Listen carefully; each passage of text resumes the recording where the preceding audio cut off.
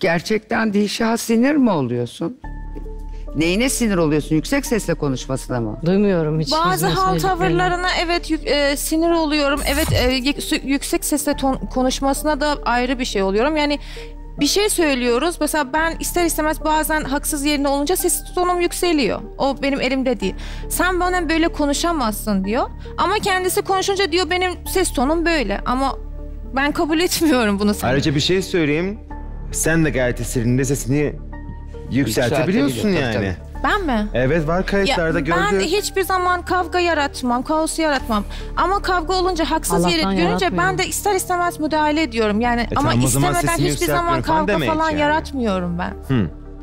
Sürekli arkada da şey söylüyorlar. İşte jürinin kararı adaletli değil. Ben Yok öyle işte bir jüri şey teselli söylemedim. oyu veriyor. Bu ne kadar yanlış bir cümle Hayır ya. ben öyle bir şey Ebrar'la söylemedim. ikisi ben yemin sadece ediyorum, kendi yorumumu söylemişim. Orada izlersiniz ki siz görüyorsunuz zaten her şeyi. Arkada Ebrar'la ikisi birlik olmuş. Ne diyorlar biliyor musunuz? Jürinin de bu teselli oyundan ya. bıktık artık. Bu tarz bir cümle kurdular arkada. Valla bir şey söyleyeyim mi Ben size? söylemedim. Bu yaptığınız konuşmalar, yanlış. bu yaptığınız konuşmalar size öyle bir geri döner ki beklemeyiz haftanın sonunu. Size şu anda yollarız. Ben size söyleyeyim ha. ben bu kadar hiçbir net zaman söylüyorum. size Bak saygısızlık hiçbir şey yapmam. söylemeyin. Hiç haftanın sonunu falan beklemeyiz. Hiç kimseye de sormayız. Anında deriz ki diskalifiye oldunuz. Bu kadar net. Jürinin verdiği puanı sorgulamak ne Hayır, demek ya? Ben hiçbir zaman öyle bir şey söylemem. Hiçbir Ben zaman da anlamam. söylemeyeceğim. Kim dediyse Sadece- dedi. Ben şu an duyduğuma inanırım. Hiç kimse böyle bir şey Kayıtlarda var. söyleyemez. Anda diskalifiye ederiz. Hiç kimsenin gözünün yaşına bakmayız. Bu kadar nokta yani. Tabii ki de biz buraya geliyoruz. Sizin e, yorumlarınız bizim için önemli. Yoksa bizim arkada yorumlayıp yorumlamamız hiç önemli değil. Burada problem ne biliyor musunuz? Ee, arkada konuşuyorlar ya. Orada kamera yok, kayıt yok zannediyorlar. O yüzden orada Aynen öyle farklı, Dilşat. burada Aynen farklı. Ben öyle. ona sinirleniyorum aslında. Sesimin tonu ona yükseliyor.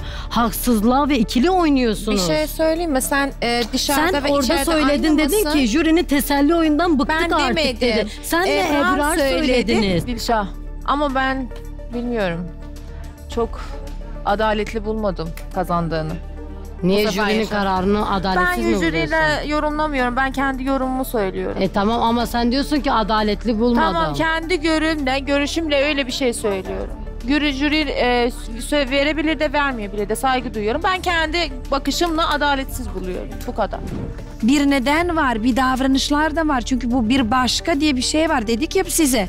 Sadece kombinle alakalı değil. Doğru. Bir şey duyuyoruz, etkileniyoruz.